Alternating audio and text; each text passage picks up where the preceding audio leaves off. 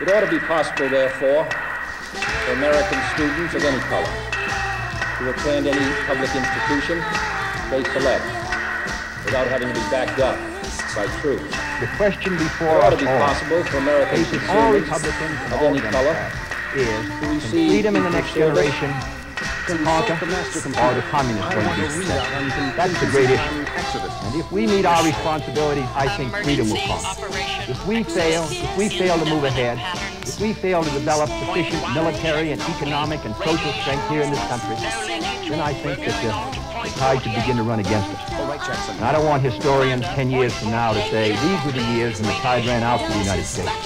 I want them to say, these were the years when the tide came in. These were the years when the United States started to move again. I've got to get out of here. All right, Collins. We're leaving soon. No, no, no! Got to get out! Yes, Sandra. there's a steep rise in heat level, disposal area 1. All indications show that the radiation level is normal, but the heat continues to rise.